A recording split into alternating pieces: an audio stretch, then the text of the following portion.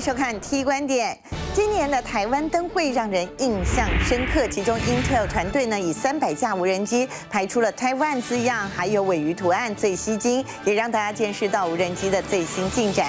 的确，近几年来呢，拜物联网之赐，无人机从表演、监控、救援到商用用途是越来越多了，甚至还被视为未来杀手级应用的科技产品。而台湾的无人机研发团队是不是已经跻身世界潮流之列？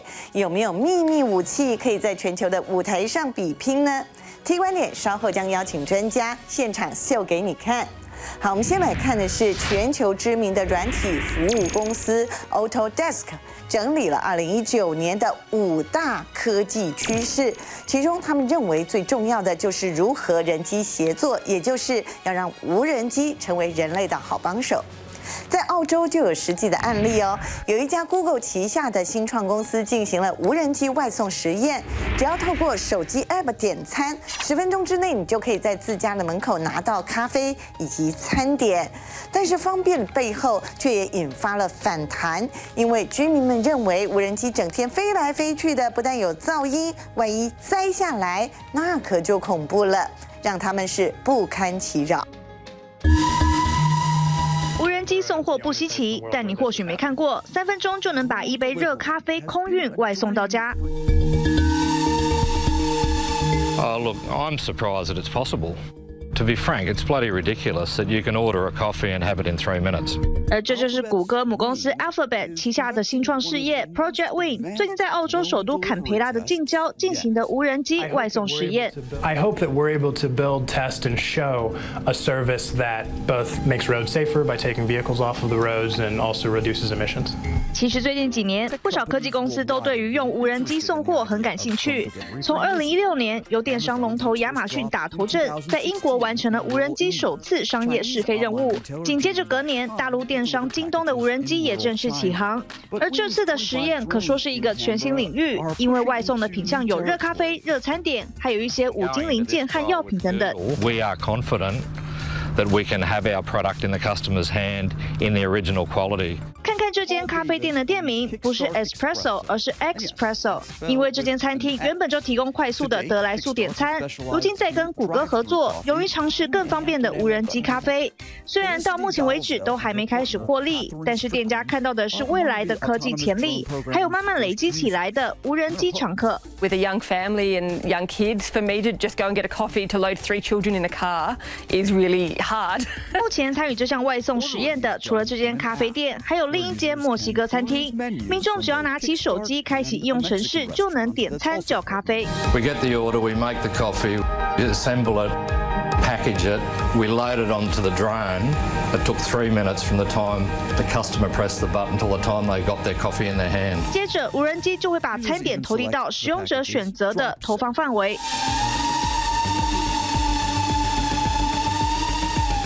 而这些无人机完全靠自己飞行，不需要人力操控，因为他们会根据顾客下单的地点，用 GPS 定位把货送达。假使在飞行途中侦测到任何意外状况，无人机则会自行降落地面。无人机送货有什么好处？根据一份统计显示，除了缩短送货时间之外，用无人机取代卡车也能把能源消耗减少百分之六左右。另外，光是在坎培拉这个城市，一年就能省下约九百万美金的商业成本。虽然根据澳洲民航局，目前为止还没有传出跟这项实验有关的事故，但是居民关心的除了安全问题，还有。It's like an F1 Formula racing car. It's absolutely irritating. 当地甚至已经成立了一支反无人机团体，理由之一就是恼人的噪音。特别是周末，就是噪音最严重的时候。从早上八点开始就不得安宁，大约两个半小时内会有十趟无人机飞过。This back and forth, back and forth, back and forth. 一场创新实验让这个小社区受到全球的瞩目，却也已经把当地民众分裂成两派。因为争议的除了噪音污染、安全疑虑之外，还有隐私问题。Our drones are taking a very low resolution um, photo only for navigational purposes on the bottom camera that is not seen in real time by anyone. It's equivalent to an airplane's black box. It's only used for debugging if there's an issue. 去年十一月，这个反无人机团体就募集一份超过千人的联署，提交给当地 官方。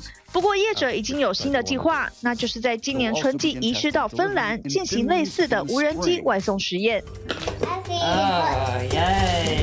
I think in five years this is going to be everywhere. 这几年无人机群飞表演又炫又热门，今年一月就又有一个无人机的表演打破了金氏世界纪录。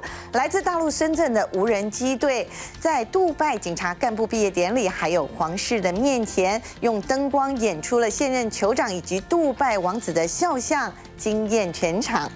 其实，台湾的无人机队也不落人后，从飞机的组装、软体撰写到队形的编排、操控等等，全部 MIT 利用卫星定位，让四十多架无人机同时间表演。我们就来看看技术究竟如何。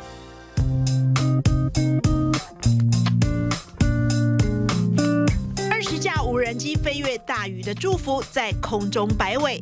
它可以幻化成台湾，也化作一颗彩色的爱心。相信吗？精彩的无人机空中展演，从组装、软体撰写、队形编排到操控，全是 Made in Taiwan。一号机红灯，好，二四六八，二四六八，全部蓝，全部黄。黑漆漆的草地上，机务员们一个个拿着手电筒抹黑检测，这可关系着飞行安全。机子上螺丝没有锁紧。不然就是插线没有插好，那有可能就会甩起来；不然就是无人机间碰撞这样子。准备起飞，五、四、三、二、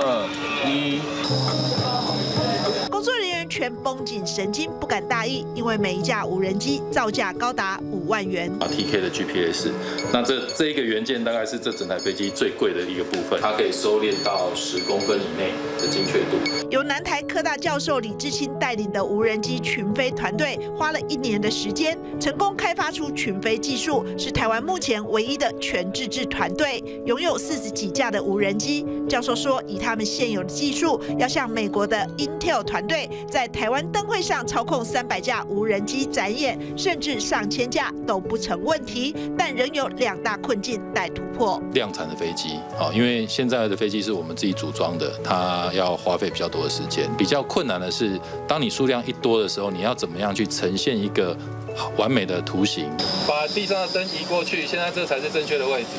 事实上，无人机展演考验团队的定位精准、路径编排及美感营造。其中，以美国的 Intel 团队及大陆的亿航高聚两家。技术经验最为成熟，他们分别挑战过两千架及一千架的演出。台湾唯一的团队三月底预计进行三十六架表演，短期目标是锁定争取明年的台湾灯会。Intel 能，台湾也能，希望说明年的台湾灯会由我们自己来飞超过三百台以上的飞机。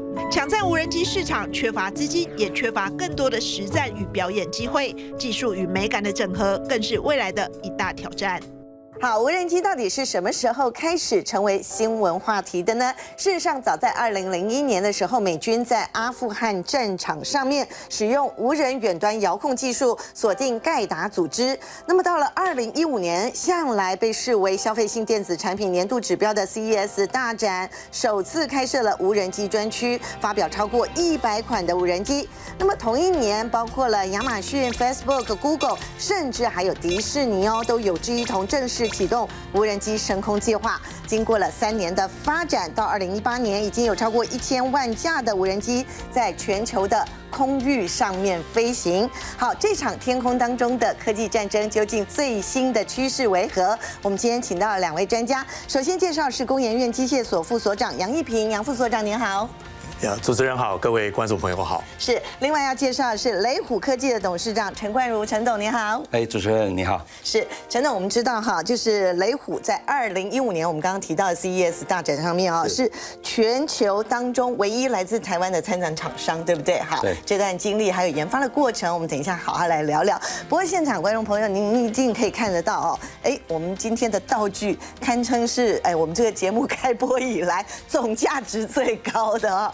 我们来看一下，先看这一台哦。我们第一个介绍上场的是这一台，据说它是行动基地台，是不是啊？对。嗯，它的总价值大概多少？呃，这台总价值在四百多万。四百多万，那这个是水下的，对不对？水下的，对。嗯，水下的这两台听说可以买一个停车位在台北市。呃，可以的。那工研院的这一台，对不对？这一台是最新研发出来的。是最新研发的，是。到时候如果量产的话，大概价值多少？哎，我们定价哈，大概五六百万左右。呃，有五六百万的左右。所以各位观众朋友，你看我们今天真的是 价值连城啊！好，不过我们首先就来看这一台行动基地台哦。这一台基地台到底平常可以做哪些的用途哦？它的特色是什么？我会跟大家介绍一下这台这个我们所谓定位的这个空中基地台。嗯，那这个载具嘞，其实它跟一般的我们看到的这个无人载具哦。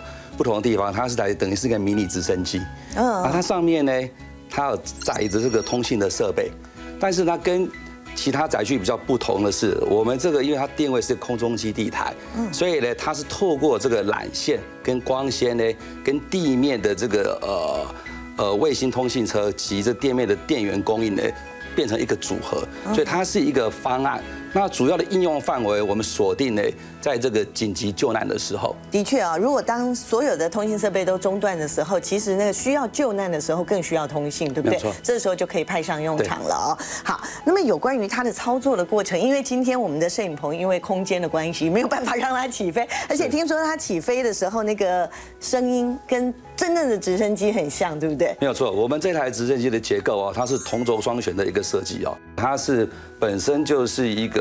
呃，活的一个陀螺仪啊，它本身非常的稳定，它飞起来的时候声音呢，会跟真的这个直升机的声音是一样，这样啪啪啪啪啪。对。好，到底一架像这样子的行动基地台无人机啊，它要起飞的过程当中，它必须要具备哪些能力？还有哪些特殊装备呢？我们先来看一下一段影片哦，就可以看看它执行勤务的状况哦。我们来看一下。好，这个就是在准备要起飞，对不对？整个过程当中，好，这个就是陈总您刚刚讲的那个，因为要有缆线，还有一个黑盒子。这个黑盒子跟缆线，它主要的作用是？好，我跟各位说明一下啊。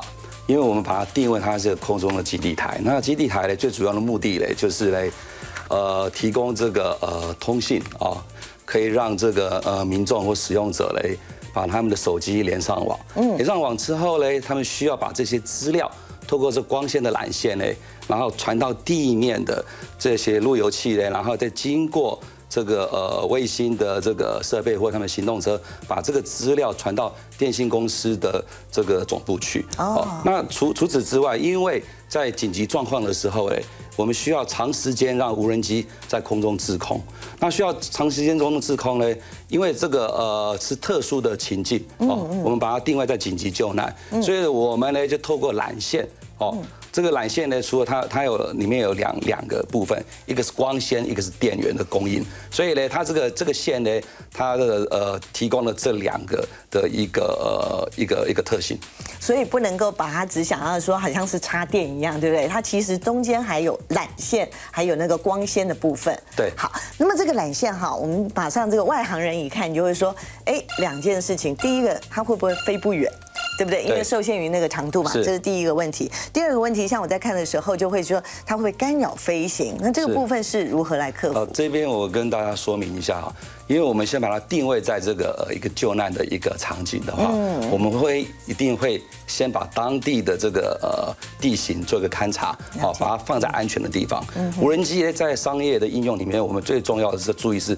它的飞行的安全，以及它起飞降落的地方，但是透过我们的系统，它整个的起飞跟降落都是自动的。哦，都是自动的。好，那么另外一个大家伙，我们来看这个哦，这个看起来科技感还蛮浓的，有点那那种什么星际大战、什么黑武士的 feel，对不对？好，那它是工研院啊所研发出来的，它叫做高负载高续航无人机，对不对？哈，那么今年的 CES 大展当中，它也亮相了，据说还得了很多的这个好的奖励啊，比如说包括了路透社啦、美国之音啦，还有澳洲啦以及印度的科技媒体都盛赞哦，说这一台实在太棒了。啊！请问到底棒在哪里？是不是副所长给我们介绍是这样子？因为呃，我们工研院哈，在这个研发的这个无人机的过程之中哈，首先我们会先看市场，那我们就发现说，这个现在哈消费型的这个无人机市场哈，那最大的就是大疆，它它已经占了百分之七十到七十五的市场，是，那是一片红海，在大陆，对对对，那已经是大疆。对，都几乎都已经占满了这个市场。那第二名呢，就是法国的这个 Parrot，哦，那他们两个公司呢，大概就已经占了这个八九成的市场。那另外一端呢，就是呃，不不，这个消费型的这个呃这个这种机种哈，大概最大的这个载重哈，就是到二十公斤，嗯，maximum，嗯，那飞行的时间呢，大概三十分钟之内，哦，就是很快的哈，就不就就电就会用完，哦，是。那在另外一端呢，就是这个。上百公斤的哈，那更重的，就是可能到这个两百呃公斤载重哈，可能要飞一个好几个小时的。那那个是军用的这个无人机啊，但是在中间哈有一段是商用的无人机哈，还没有人去开发，所以是一片蓝海。所以呢，我们就开始呃做这个商用无人机的这个开发。那这个呢，主要呃有很多的这个用途哈，包括农业的用途哈，那这个喷洒农药的用途，因为它要载。很重的这个这个这个这个呃水啊，所以这一台就可以做到，这一台就可以，嗯哦，或是呢，就是这个高空哈，我们 有些有些时候是救灾哈，有些时候是洗那个呃这个大楼的玻璃帷幕哈，都要很重的这个载重量，而且要飞得很久哦，甚至在桥梁检测。呃，这个我我们其实第一个呃呃很重要的需求就是这个台电的电塔，嗯，那电塔哦上面有爱子，那固定的时间都需要这个清洗，对对对，所以这个是需要呃呃那个高负载，呃高负载要到多少呢？就是三十公斤以上，甚至要到上百公斤。那飞行的时间带上去就对。是飞行的时间也是希望说，因为工作时间可能比较长，嗯，那至少要四十五分钟。是，那么以后借重这个无人机就大有用途了，对不对？好，这是工研院的最新的一个研发哈。我们再来看到另外的这两台哦，这两台就不一样了，这两台是在空中飞的，但是这两台就在水下游的，对不对？是没错。是不是在帮我们介绍？这两台嘞啊，是我们呃公司的这个最新的水下的产品哦，嗯，是针对这个商用的市场。是啊，我们先介绍这个这台好了。它叫做海龙号，是不是？对，叫海龙号。海龙号，所以它也有在 CES 大展上面亮相有有有有。我们就来看一下影片哦，看看这一台这个水下无人机它能够。运转的一个呃执行任务的过程，我们来看一下这段。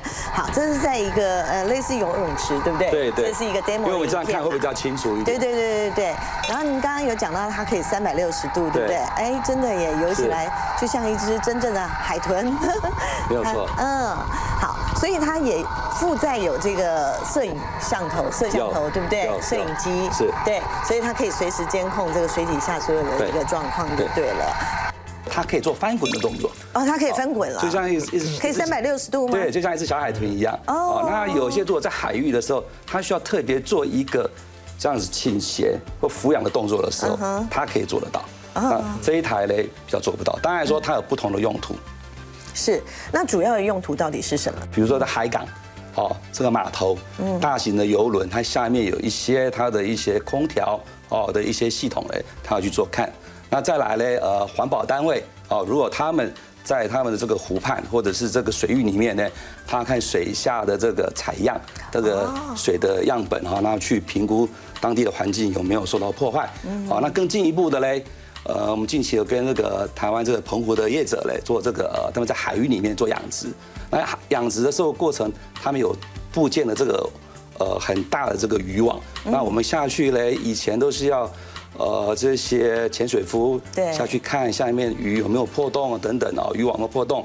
那现在可以透过这样的潜艇呢，哦，可以下去做一个。所以以后的渔夫比较轻松了，对不对？哎，会会以前以前都是要全身的那个潜水装要潜下去，一个一个检查，以后是站在那个 monitor 前面这样子，没有错，监视着就可以了哦。